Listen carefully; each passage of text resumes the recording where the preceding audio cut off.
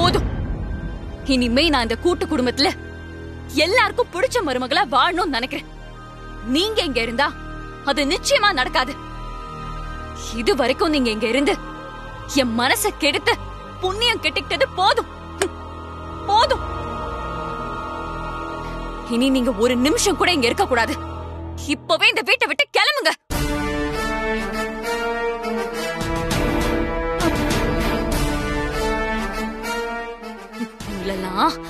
இருங்க வரேன். ஐசு ஒரு நிமிஷம். என்ன பேசிட்டு இருக்க நீ? அருண். இதெல்லாம் தெரிஞ்சு பேசிட்டு இருக்கியா? இல்ல தெரியாம பேசிட்டு இருக்கியா? அவங்கள யாருன்னு நினைச்ச? உன் அம்மா தானே? உன் அம்மா கிட்ட இப்படிதான் பேசுவியா? போ போனா எப்படி போவாங்க அவங்க?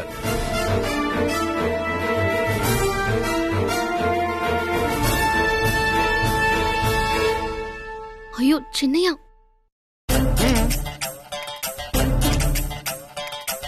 அத்த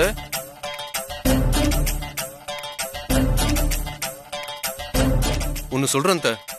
என் மாமியாருக்கு இது நாள் வரைக்கும் எந்த கடமையுமே நான் பண்ணதில்ல அத்த. இப்ப நான் உங்களுக்கு ஒரு கடமையை செய்ய போறேன்.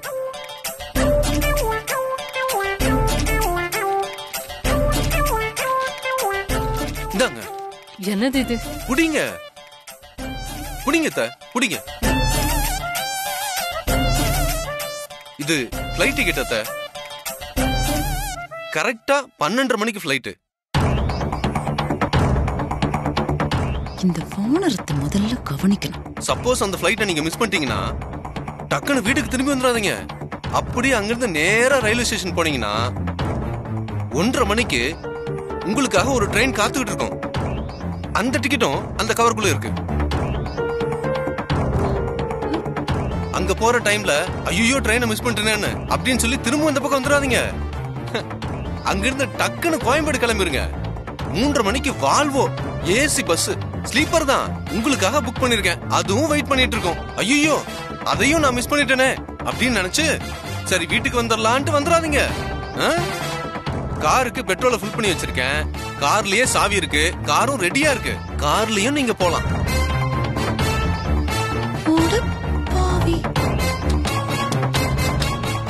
மேக்கப் கிட்டு ஜுவல்ஸ் எல்லாம் இருக்கு.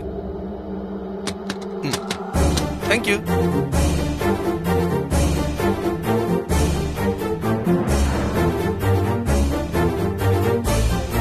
அத்தை!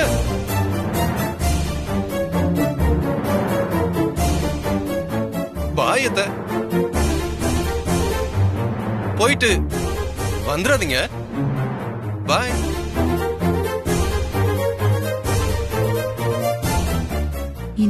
போக வேண்டியதான போன நேரம் தான் தப்பா இருக்கு. வீட்டை ரெண்டாக்குற வரைக்கும் கொஞ்சம் கூட இருந்திருக்கலாம்.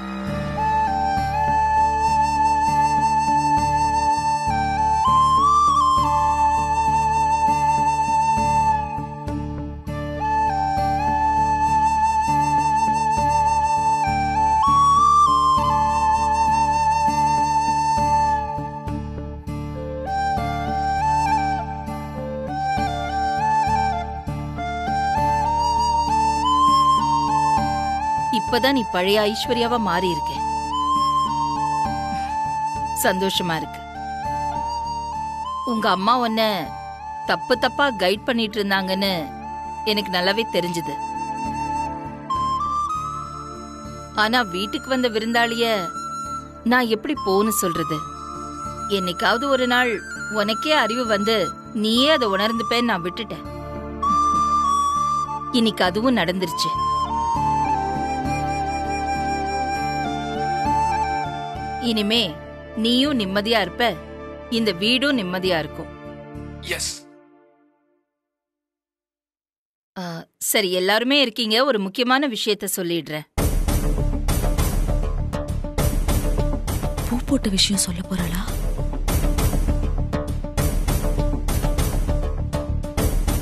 எப்போ உனக்கு இந்த வீட்டுக்கு மருமகளா இருக்கிறது தான் முக்கியம்னு உன் மனசுல பட்டுச்சோ?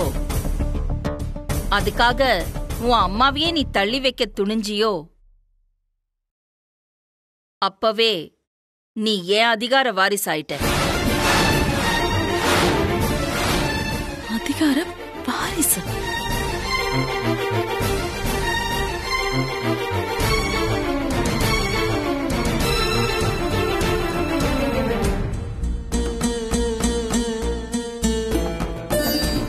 கொஞ்சம் லேட்டானாலும் எல்லா தகுதியும் உனக்கு வந்துருச்சு.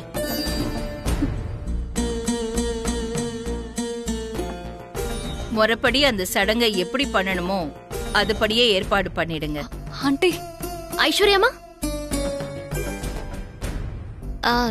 செய்யலாம். அம்மா சொன்ன மாதிரியே நல்ல நாள் பார்த்து அந்த சடங்கை நம்ம செஞ்சிடலாம். இல்ல பார்வதி. அட என்ன நீங்க?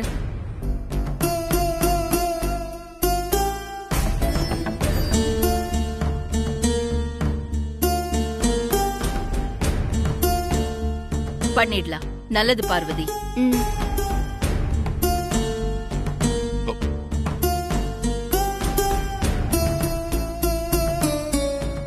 இவ என்ன வேற என்னமோ சொல்லிட்டு போறா.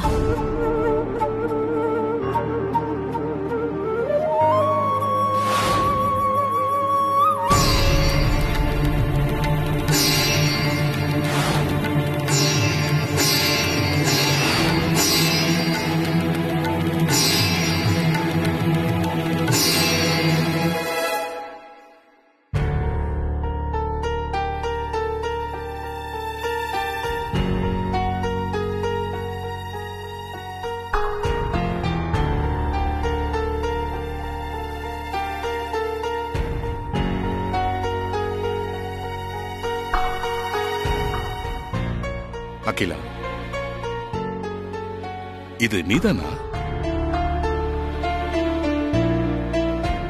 என்ன? இப்போ இவ்வளவு நேரம் பேசிட்டு வந்தது நீதானா? ஏன்னா என் அகிலா இப்படி ஒரு முடிவு எடுக்க மாட்டா. இவ்வளவு தூரம் பார்வதி தான் உனக்கு அடுத்த இடத்துக்கு வரதுக்கு தகுதியானவன்னு தெரிஞ்சும் நீ ஐஸ்வர்யாவை செலக்ட் பண்ணிருக்கனா? கண்டிப்பா இது அகிலாவோட முடிவா இருக்காது.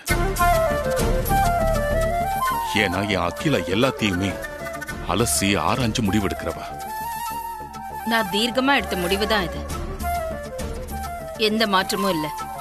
இல்ல அகிலா. எனக்கு அப்படி தோணல. வேற ஏதோ நடந்திருக்கு.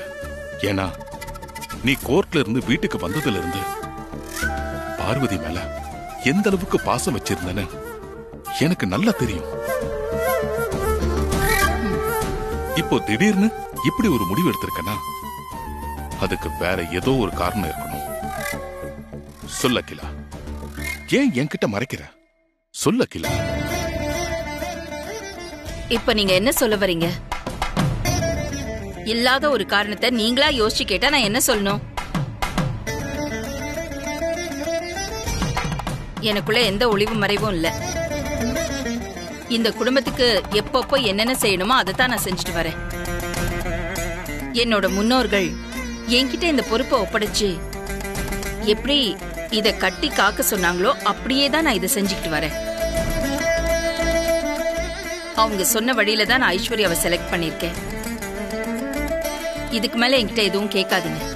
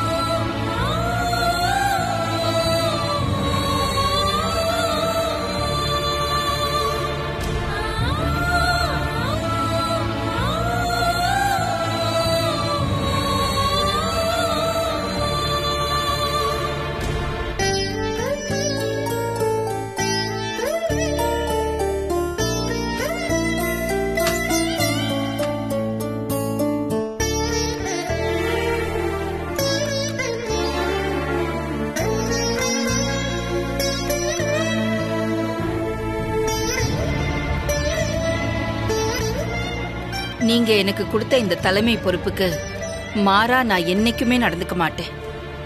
என்னோட சொந்த விருப்பு வெறுப்புக்காக நான் எந்த முடிவையும் எடுக்க மாட்டேன். நீங்க இந்த பொறுப்பை எதை நினைச்சு என்கிட்ட கொடுத்தீங்களோ அந்த கண்ணியத்தோடையும் கட்டுப்பாடோடையும் நான் நடந்துப்பேன். கண்டிப்பா நம்ம பரம்பரை பேரை கெட்டு போக நான் விட மாட்டேன் இது நிச்சயம் நடக்கும்.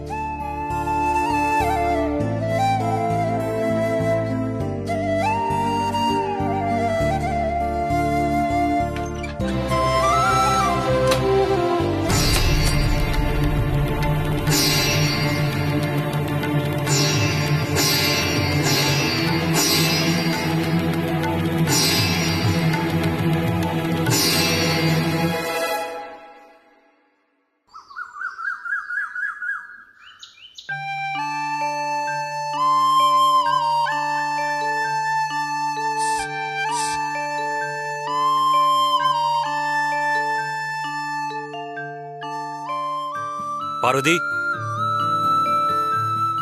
பார்வதி! ஆ இதோ வந்துட்டேன் மாமா.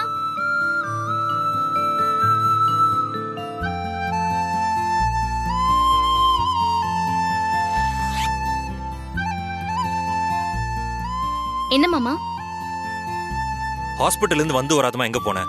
கிச்சனுக்கு போய் என்ன இருக்கு என்ன வாங்கணும்னு பார்த்துட்டு வாங்க வேண்டியதை பட்டம்மா கிட்ட சொல்லி கடைக்கு அமிச்சிட்டு வரேன். எதுக்கு? எதுக்கா? என்ன கேள்வி மாமா இது? சமைக்க வேண்டாமா? வேண்டாம். எல்லாருக்கும் பசிக்குமே இப்போ. நான் ஒன்னதான் சமைக்க வேண்டாம்னு சொன்னேன். பட்டமா சமைக்கிட்டோம். எப்பவுமே நான் தானே மாமா சமைக்கிறேன். இன்னைக்கு தான் ஹாஸ்பிட்டல் இருந்து டிஸ்சார்ஜ் ஆகி வந்திருக்க முதல்ல நல்லா ரெஸ்ட் எடு. ஐயோ ரெஸ்ட் எல்லாம் ஒண்ணும் வேண்டாம் மாமா. எனக்கு உடம்புக்கு ஒண்ணும் இல்ல இப்போ.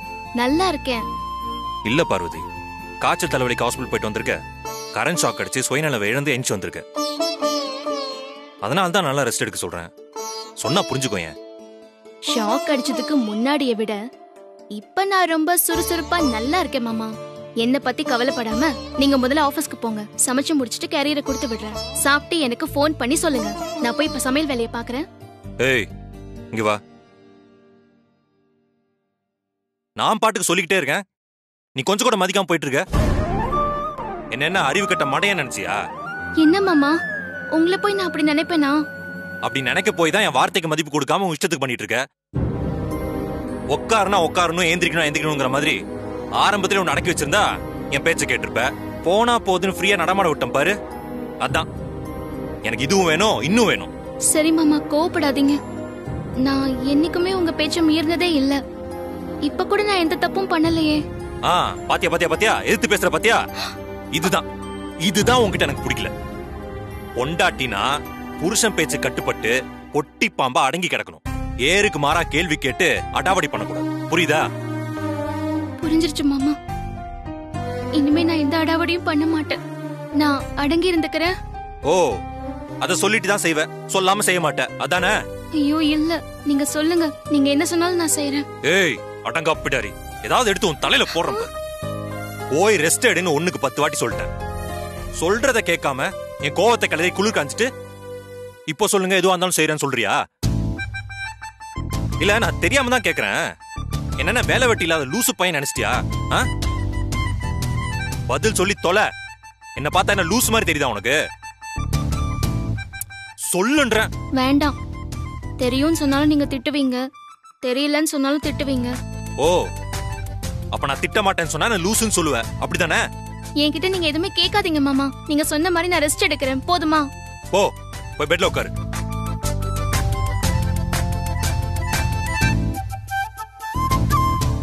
ரெஸ்ட் எடுக்கிறதுனா நான் போற வரைக்கும் சும்மா பெட்ல உட்காந்துட்டு நான் போனதுக்கு அப்புறம் ஏஞ்சி போய் வேலை பார்க்கறது இல்ல பெட்ல நல்லா படுத்து இழுத்து போத்திட்டு நல்லா தூங்கி ஏந்திரிக்கணும் புரிஞ்சுதா மாமா ஏய் புரிஞ்சுன்னு சொல்லிட்டு உட்காந்துட்டு இருக்க படு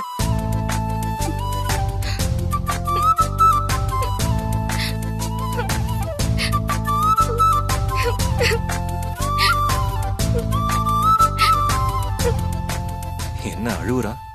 நிஜமாவே கோவப்பட்டேன்னு நினைச்சிட்டாலோ? ச்சே பாவம். ரொம்ப பயந்துட்டா போலியே. சமாதானப்படுத்தலைன்னா ரொம்ப தோண்டு போயிடுவாளே.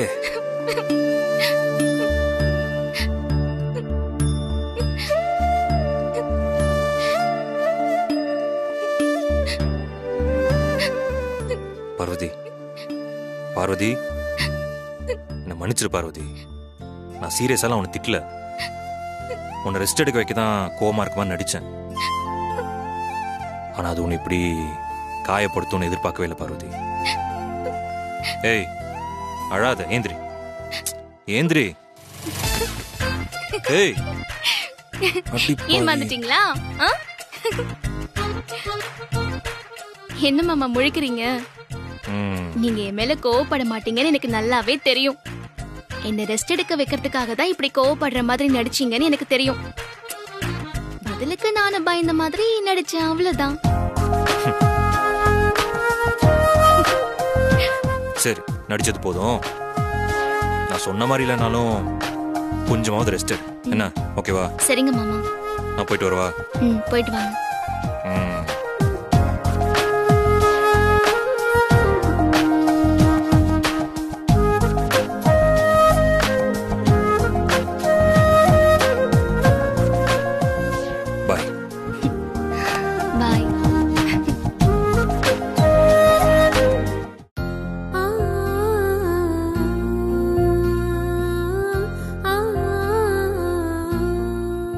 ஐஸ்வர்யம்மா ஹ, வா பார்வதி வா.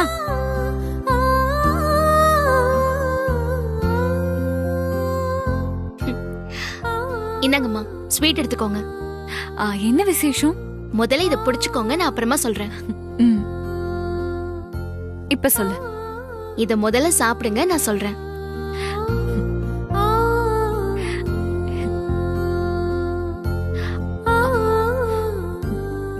சாப்பிட்டேன் சொல்லு. நம்ம ஆதிக்கடவுர் பரம்பரை அதிகார வாரிசா அம்மா உங்களை அறிவிச்சாங்கல்ல? அதை கொண்டாட வேண்டாமா? அதுக்காக தான் இந்த ஸ்வீட்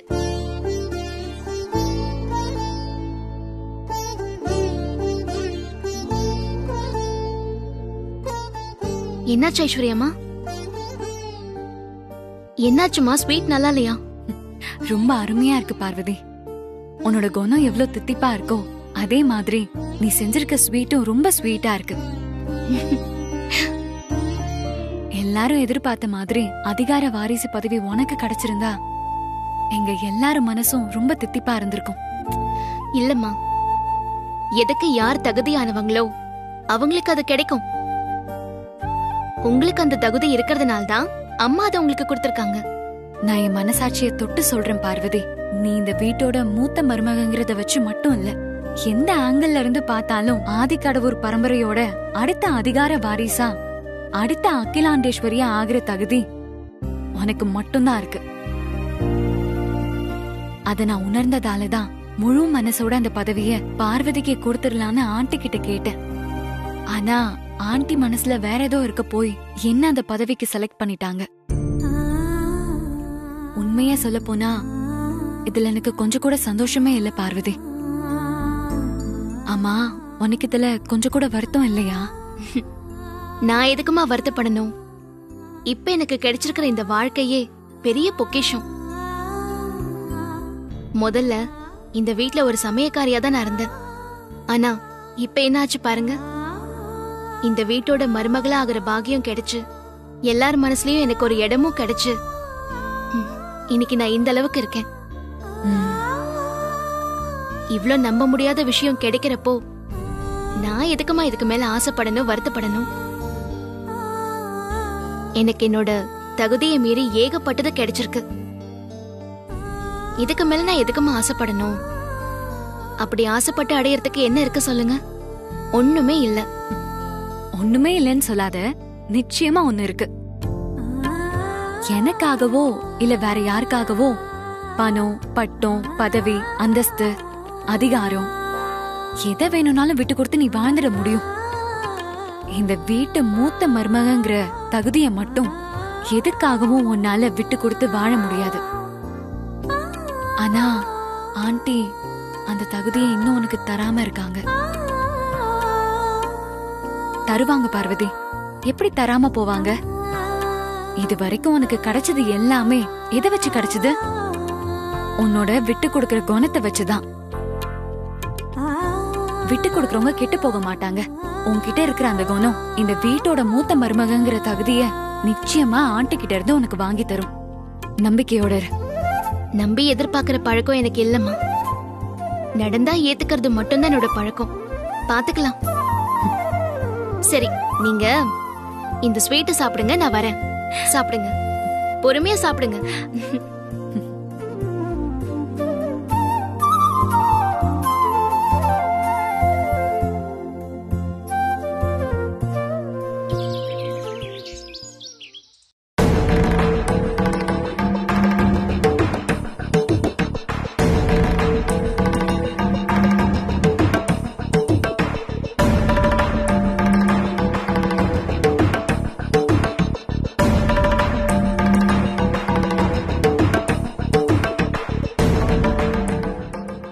அகிலா சொன்னதுக்கு அப்புறமும் இவ்வளவு நேரம் யோசிச்சுட்டு இருக்காரு ஒருவேளை குருஜிக்கும் ஐஸ்வர்யா நேரடி வாரிசா வரது பிடிக்கலையோ? இவர் எப்பவும் பார்வதிக்கு சாதகமா தானே பேசுவாரு? இப்ப எப்படி மாத்தி பேசுறாருன்னு பாப்போம். என்ன குருஜி? ரொம்ப நேரமா யோசிச்சுட்டு இருக்கீங்க குருஜி அம்மா சொன்னதுல உங்களுக்கு எது உடன்பாடு இல்ல போல இருக்கே. அருண் நீ கொஞ்சம் சுமார் குருஜி நீங்க சொல்லுங்க. உங்களுக்கு தெரியாது எதுவும் இல்ல. ஆதி கடவுர் பரம்பரைக்குன்னு ஒரு வழக்கம் இருக்கு. தலைமுறை தலைமுறையா தவறாம அதை பின்பற்றி வந்துட்டு இப்போ திடீர்னு மாத்தணும்னு நினைக்கிறீங்களே? அதான் யோசனையா இருக்கு.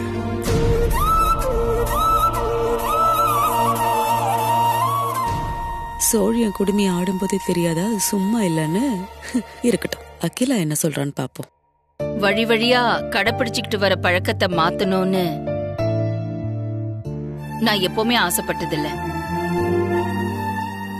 அப்படி மாத்துறதுல எனக்கு உடன்பாடு இல்ல. சந்தர்ப்ப சூழ்நிலை என்ன அப்படி ஒரு கட்டாயத்துக்கு கொண்டு வந்து விட்டுருக்கு. அப்படி ஒரு சூழ்நிலைக்கு நான் தள்ளப்பட்டிருக்கேன்.